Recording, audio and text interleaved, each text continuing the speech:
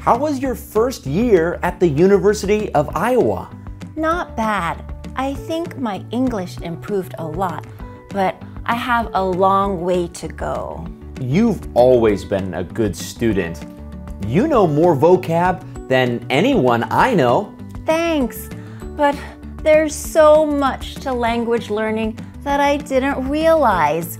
People talk so fast and sometimes use a lot of sarcasm. And a friend told me I sounded angry all the time.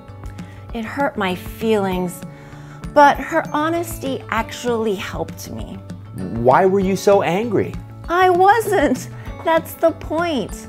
Together, we figured out that I was putting too much emphasis on every single word. She said Americans do that when they are scolding someone. Did you feel embarrassed afterwards? Kind of, but that's part of the process, right? An honest friend is the best help of all.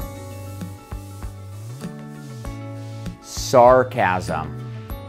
Sarcasm. Embarrass. Embarrass. Scold. Scold.